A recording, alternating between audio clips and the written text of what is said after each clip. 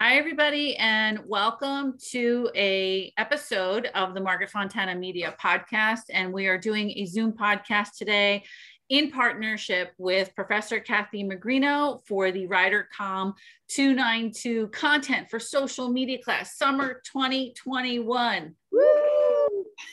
that was that was not planned. We just did that. So, um, welcome everybody. Nice to meet everybody. I have not seen you in person. We've been all kind of communicating in our discussion area. I mean, I have with everyone. I have and not so seen them in person either. So, this is the first opportunity I get to speak on video to yeah. So, so, thank you all. It's been a great summer class so far, I think, and I hope you've enjoyed it too. I know we're almost done. Uh, we only have until the wow to finish up. But time flies. Time's going so you. quick. Thank you, Margaret, for always uh, stepping up and and you know giving us your time and your absolutely your expertise and talent and uh, teaching us about podcasting especially so yeah so thank you and i appreciate that everybody submitted questions for um, today's podcast actually and professor magrino will share more news about those questions submitted i won't spill the beans. I'll leave that to Professor Magrino. Um, but I think our goal today is actually talking about and answering these questions that um, some some of you had submitted that made it to the top of the list to be answered for this podcast. So, Professor Magrino, should we start with our first question? Yes, and actually, what I'm going to do too is um, the top five questions were voted on by our class. So the class, the classmates, uh, you all voted, and we picked the uh, top five that had the most votes. Um, and each of the winners, the top five authors of the uh, questions, um, are receiving an Amazon gift card, a $10 Amazon Whoa. card. And um, yeah, so you'll have to claim, send me your email addresses if you're a winner, and I will uh, send you your card. Okay. So that's, that's fun. That's very impressive to win. Yeah, something. no, it's fun. So I like to make learning as fun as possible. So. I know. See, if we were in person, like you know, we used to throw candy in class, you know, and just kind of like have that reward. But well, I'll be back in the classroom in September. Actually, I'm hoping you know if everything keeps moving forward. Yeah, that'll be good. That'll um, be fun. So you should come back in with me too, and we can throw candy again. Yeah, and for those of you who don't know, and maybe you do know, but um, just I am Rider alumni. I graduated 1997. I was a uh, radio and TV communication major. We didn't have digital media or film weren't exactly those those majors yet, even though like some of the traditional pieces of what you're learning, what you are learning, uh, might be similar to what we were learning back then. Mm-hmm. But um, so you know so when i when i share and i participate in the rider um, you know guest speaking things that professor magrino invites me to i'm happy to do it because it makes me happy to you know really be part of where i went to school. So enjoy what you're doing and you're very lucky to have professor magrino as your professor for this class Thank you. Hey, and we should tell them how we met through social media, actually. Margaret and I did not meet. Yeah. We met on, through social media because I was teaching, this was back in 2009, and I was teaching at Rider for five years at that point, but I was working in my classroom and trying to show my students, um, demonstrating live how to use Twitter. Twitter was just coming out and yeah, I had been on it and I was like so impressed with it. Um, so we were tweeting from the classroom, one of the J Labs in the Fine Arts Building, and uh, I put a thing out about Rider University and teaching my students about Twitter and and Margaret was happened to be on at that time and uh, following yeah. with the hashtag, I guess, the Rider University or the whatever. Yeah, and I you you were in my feed somehow and I was like, "Oh my god, you know, she's writing about her class like you were writing a tweet like i'm showing my class today how to use twitter and i'm a Rider professor you know and i was like oh wow so i started typing you back yeah. and that's how and it all started and then i said would you love to come in and meet with us in person and uh, yeah. the rest is history so every so it's now what how many 12 years yeah 12 years you've been oh my god really yes wow so, so yeah. Oh my God. You just you just made me like think about that. It's like, wow, that's a long time. Yeah, well, thank you for doing that. Yeah, new chapter, new moment. So here we are. Um, 2021, back to our questions, back to content for social media and learning yes. how to podcast. And, and never before has social media been so important. And this is the moment where content creators and creating different parts of, um, you know, I, I, would say like the strategy behind content marketing has changed. The strategy mm-hmm. behind behind content creating for social media has changed. Um, but one of the strongest pieces is actually podcasting. And so um, a lot of what I'm sharing and a lot of the answers I'm going to give have to do with a lot of the traditional pieces, but a lot of what has been kind of built since we are learning more about technology, we're using more, we're trying to connect more, life events, a pandemic. A pandemic has forced us, like pushed us forward into digital transformation. So this is the best moment to hear about it, the best moment to talk about it. And um, so we can keep we can learning, get keep learning about it because it's constantly changing and evolving. It's changed so much in the past even 12 years since we've been oh my gosh. yeah. Like as you were talking about it like we were using a basic idea of twitter just like hi how are you now it's like crisis communications now it's used for top political officials it's customer used, service customer service it's used across for everything you know so it's it's fascinating how far it's come Okay. All right. So here we go. Yeah. So our first winner with seven votes, uh, Hannah. Congratulations, Hannah. Okay. So um, it's a complex question. So it's got, I will read the whole thing to you now.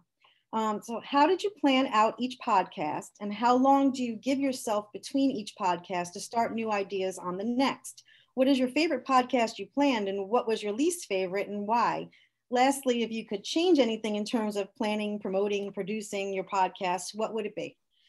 Okay, so I'll take the first part of it, which is how did I plan out each podcast and how long do I give myself in between each podcast to start? So I will say that a lot of my podcasts are very organic. And the number one piece of advice I would give to anyone starting a podcast, you really have to talk about what you know. So sometimes if you're given an assignment, let's say, and someone says, "Oh, you know, create a podcast," and some sometimes people are like, "Oh my God, what am I going to create a podcast about?" It's it's not about like you know digging into something to find something to talk about your best uh, formula for success is actually talking about what you know. So if you have some type of uh, affinity or love for some type of topic maybe you're you have a hobby maybe you love media maybe you love film maybe you're a film critic or maybe you become a film critic by starting a podcast to talk about films every week. So it really has to be about like you wanting to do it, you wanting to love and talk about your own topic that interests you. That's how I actually plan it out. It's very organic. But I will also say what influences me is actually what's happening in digital and technology and media. So I am that person. I'm on Twitter morning, noon, and night. Um, you know, in between meetings, in between when I have time. I'm always reading what's happening because that then influences me to talk about it. And the reason I want to talk about the latest and greatest is because it gets me more audio listens through how I'm writing my titles, how I'm writing my descriptions, how I'm tagging things.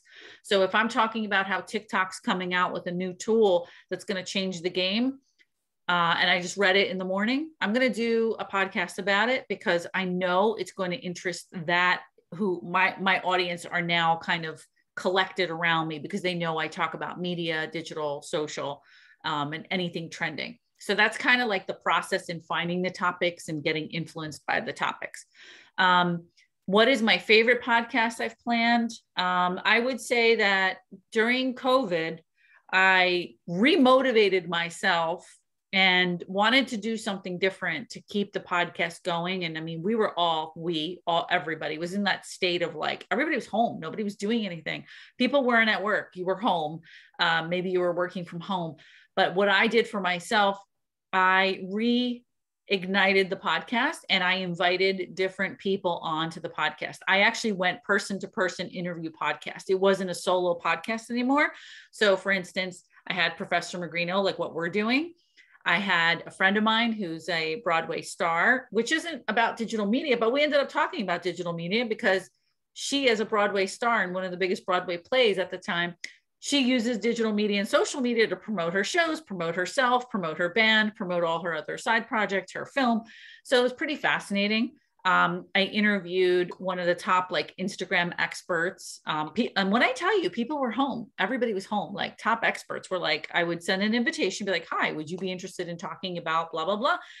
people were very open to it. So that was my own, that was like my summer project where I reignited the podcast. And that became like, I wouldn't say it was one episode. Having all those people on was actually my favorite part of doing the podcast. It's very time consuming. It requires a lot of planning and it requires a lot of like detail oriented, um, you know, production planning. So um, I would say I wouldn't change anything in the process because I actually learn and change things as I go. Because sometimes you talk to someone or you you ask someone to be part of your podcast and they might be super experienced and have had other type of experiences with interviews and they'll ask if I'm going to do A, B, and C and I'm like, "Oh, maybe I should start doing A, B, and C." So then it forces me to actually add another layer of my skill to something. It just depends what it is. Right. Oh, and yeah. speaking of the whole planning part too, I will be sharing um, your template. Yes, that's yeah. good. Yeah, it's a good template, and and it's it's a good base to to start from. So look for that in the module folder um, on on Canvas. I will put that up when I when I post this video. Okay. Okay. All right. So thank you. So yeah. also, it's actually a tie for first place because also uh, with seven votes was Tiana's question. Um, so she asks, when it comes to podcasting, how do you go about choosing a specific audience to cater to? Essentially, if anyone can listen in, how do you grab the attention of those who you target the most? Right. And I think this kind of ties back into my question from number one, which was about really speaking to the things you love to talk about. So if you love fashion, you're talking about fashion and then it kind of exudes out once you start becoming consistent and like you're putting out a podcast every monday and you're talking about like uh, again i'm using just like fashion let's say fashion or sports right so say you're putting out a show every monday right about i'm going to go with the sports because i already said fashion but if you're doing uh, a sports podcast so I'm so excited about talking about Professor Magrino's team, the Mets. So I'm going to do a report every week about the latest baseball news, the latest baseball games that happened last week, who you think the next, you know, who's going to the World Series. So it's really like your audience builds once you start uh, once you start your consistency and that means you have to stick to almost a production schedule. See all of these things are like moving parts. It's not me answering this question. It's like almost like we have to backtrack because it's about that production plan and and your commitment. And you're saying like every monday i'm going to do a podcast and i'm going to push it out by like before noon every monday. And i'm talking about sports and i'm going to you know make sure I, I cover these three things every week. And so then you're sharing it onto your social media so maybe like your friends know that you're a big sports person and so they're like wow Kathy's doing a sports podcast. She just posted it on Facebook. I'm going to have to go listen. So your audience starts to build because all of these platforms that you're using for podcasting also um, really work to build audience. I mean, a lot of it's organic, but a lot of these platforms are so good now, like Spotify, Anchor, um, you know, Google, all of them work to build your audience. And you don't have to spend money to advertise your podcast. You could. I mean, all the big podcasts do, but it's really it's really about building an organic audience first if you're starting out so you know um and and it's a baseball reference but the movie it's like if you build it they will come and this is true but you have to be consistent you have to be consistent. Dreams, we'll give it the credit. Field of Dreams. That's it. I was like, what movie? Kevin Costner. yes. it's an old, old movie at this point. But so that's my answer, but it's multi-layer. Excellent. All right. So there's also a tie for the third place, I guess. Um, it's Ashley and Maya.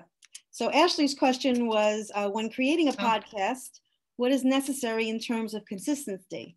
In an effort to be consistent, uploading on the same day each week, month, relative the same length episodes focused on one specific niche. She's asking like what it, you know, right. It, um, or do you believe podcasting that comes with more freedom in terms of content? Right. Yes, you have to be consistent um, yes, you'll you will be more successful if you cater to a niche audience and you mm-hmm. you begin to speak more towards what you think is like your narrowed consumer or your your audience you know so it's like again if you're talking about if i'm talking about digital media and social i know that i'm attracting that you know audience around me. If i'm talking about sports if i'm talking about fashion each of those things are very important or any topic is very important to build around. Right. can, can you do a broad podcast? Like can you be joe rogan and talk to anybody and talk about anything? Absolutely.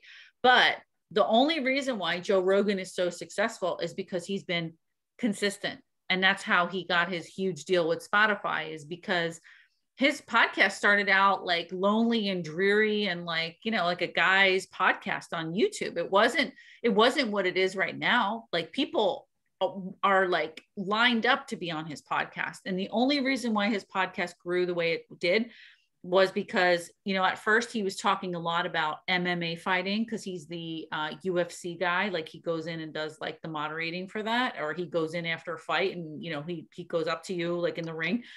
So his his whole persona and his whole audience started that way. And that's just one example but like if you look at um you know you have different podcasters out there who worked with people um you know like other partners or they had like um what's the word? Like yeah like it's like partner partner podcast so you know you have to understand like what it is that you want to talk about. And then all of a sudden like those people start to gravitate around you. So for example um, I always talk about digital social media or media, but at the same time, like my last couple of podcasts, I ended up talking about like top five ways to be happy. And that stemmed from an article that was actually very closely associated to like one of these top influencers in digital media. Then she ended up writing an article about top five ways to be happy. And I was like, that's weird. But it was like, it made sense because you know, we were all kind of like living our pandemic life. And I thought to myself, let me change it up and I'm going to actually talk about that. And I did. And the podcast was great. It got a lot of listens. And I think what I'll do in the future for myself, I'll thread that in where when I feel, when I feel, you know, like naturally, like I want to do it. And that's the other thing. Like you really have to want to do your podcasts, you know, forced topic and podcast, like it's never going to work. So when I feel the need to be more open or general, um, I plan it, you know, and and I'll I'll talk about it. And and to be honest with you, um, there might be the one not planned podcast where I just feel inspired to do it. So what I'll do is I'll record it, and then when the moment's right, I'll say, you know what, I know I recorded this topic. Let me um, let me upload it you know so so sometimes you just have to like be a little open but consistency is key. All right thank you. All right and so like i mentioned uh, maya also tied for the third place there um, so she's our fourth question. Um, what do you do when you feel like you're running out of things to say about a specific topic? Like do you have any tips on what you do? Yeah and and you know i think a lot of that has to do with planning your podcast to be concise Right. Never ever over commit yourself to saying, like, even to yourself, well, I'm going to do my podcast. I'm going to do an hour long podcast. Like, oh my gosh, don't ever do that. That's a snooze fest. Um, you know, as we know, everybody's attention span is very, very short. And that has to do with just digital and like the transformation of how we're living. And, um, you know, I think like a statistic is like between three and six seconds. Like you have, I mean, you might be tuned out right now as we're talking about podcasts. I hope not. I hope, I hope not. not. But, but it's so like we have to keep your attention. I have to keep right. your attention. Right. right. Um, one more question. So yeah, in. one more question, and somebody wins big prizes. um, but the point is, like, you have to, um, you know, you have to like think a little bit holistically on all of this. Like it's there there is like no playbook actually on any of it. Like as much as the, all of these things that like i've developed for myself and what has like kept me um very committed to the podcast are things that like felt right for me and felt like okay this feels good. I was getting good attention. Um, I will tell you that doing the podcast, I actually positioned and packaged myself. Everything I did over the pandemic actually worked in my favor for what I'm doing now because it it positioned and packaged me according to what I like to talk about. So and folks like look people look you up and people say, "Wow, you're talking about this and you're doing that." So you know there there are many many layers to why you would produce a podcast um, but you really have to be consistent you have to really like what you're talking about and you really have to just you know yeah i think the passion has to be there you know you have to have not only knowledge but you have to really care about what you're talking about because yeah otherwise it's not going to come you know it's it, you can't be fake about that. So no, no. And sometimes, you know, if you if you do test this idea of producing a podcast and then you end up putting it out and like somebody comments or somebody has something to say about it, it's it's it's a really good feeling. I mean, sometimes people are negative and like they they'll they'll somebody can post something negative, but like usually I like delete people like who are negative. I mean, immediately. I don't even boom yeah, gone. All of them. I have no um, people that yeah negative things to say anyway. So you have to really just you know kind of be okay with you know sharing what it is that you feel passionate about. So you know, Professor Magrino's right. Like if you're passionate about it, you're going to succeed in anything you do. But if you're just like, meh, I'll try it and I'm not sure, like it's not going to go anywhere. Okay, thanks. All right. And finally, our fifth and final question our winner is Austin. Austin had this question. Um, he asked, when deciding what platform to use to publish your podcasts, if any, what are the major benefits of some platforms compared to others? For example, um, Apple Podcasts compared to Google Podcasts. Yeah. And if so, what are the best platforms to use? Like, what do you recommend? Yeah. And so, you know, the thing about all of the podcasts now is that they're all intermixed and inter promoted with each other. Yeah. So if you decide to do a podcast on Apple, on iTunes, that has like a partnership and cross promotional um, you know element to it that it could distribute out to other podcasts. It's it's like it's like a distribution platform that sometimes you're not even aware of. Um, so if you use a platform like anchor you're going to get full distribution across the board on all the platforms. If you use a platform like, um, there's another podcasting platform, it escapes me at the moment, but there's another one that does the same thing where it distributes across a million platforms. So you have to actually test a lot of the platforms first. Mm-hmm. Um, and I would test it with one thing, you know, like sign up for it, test it with one do like a test run uh, you know make up a fake podcast if you have to just to kind of like get the feel for it. Um, but that's the really amazing thing about the platforms. The technology and all the platforms is improving daily and because podcasts are so popular and because it's like just one of the fastest moving pieces of marketing um, that folks are like really adding to their strategy you know the tech companies are almost like forced to show up more and to show up better. So um, i wouldn't say there's any one platform but i would say that you'd have to just do your research to make sure it's what you want. Like you can sign up on spotify and um, produce a podcast. I mean you don't have to be joe rogan. You can you can do it. Anybody can do it. Um, but again favorite? What do you use? I've used anchor. I've used zencastr Zencastr is now also stepping up their game and, you know, adding a ton of new elements. Like a lot of these podcasting platforms are adding video. So, like what we're doing right now, um, we are going to take this and I'm going to split the audio from this and the video from this. So the audio, I'm going like, and you don't need to have like, you know, a radio, TV, audio background, but you know it's good to just you're going to teach yourself how to like actually learn and, and identify the pieces of production. So i'm going to take the audio from this and i'm going to i'm going to put it in one of the platforms um, you know appropriately deciding like where where we want to put it. And then i'm going to take the video portion of this. We're going to call this a zoom podcast which is what i did over the summer when i was telling you about like the different guests i had on. And this part i upload to youtube and so when you think about podcasts, like podcasts are um, not just audio anymore; they're also video. And so I I'm going to double up on my distribution, and I'm going to double up on like the potential for my podcast to be seen and heard. So seen with video, and then heard through all the different distribution audio platforms. Excellent. All right, so that's it. So we're wow. done.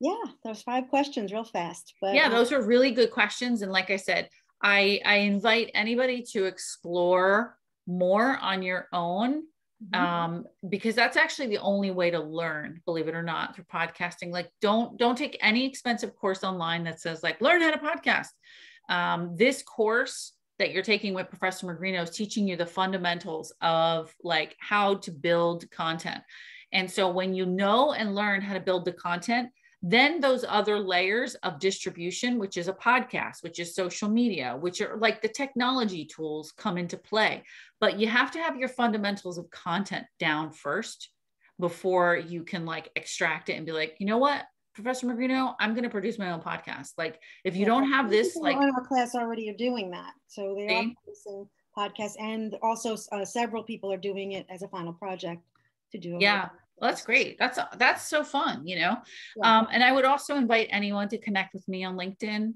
Awesome. um, or in the group if you have any questions or if you feel like there's something that maybe no one talks about in podcasting you can Yeah. always ask me and um, very very happy to share Yes. So thank you, thank you for your time again, Margaret, and uh, thank you thank you to the class for writing such great questions. I really appreciate your participation this past six weeks. Um, I can't believe how quickly these summer classes go. But um, I'm also here for you beyond our summer sessions. So if any of you have any questions or um, need anything um, in the fall semester, I'll be on campus actually Tuesdays, um, definitely at 4:30 in the one of the J labs. I'm not sure um, in the Fine Arts Building, but I'm not sure exactly which one yet. And um, yeah, so I hope to see you maybe in person. And uh, thank you all again. Thank you, Margaret. yay thank And you everybody enjoys the rest of their summer. I- yeah guys have a great summer and Oh. thank you for letting me be part of your class Oh, and so make much. sure you connect I can't thank you enough. Thank right? you oh my gosh thank you yeah guys Bye I'll I'll see everybody soon thank you Bye. bye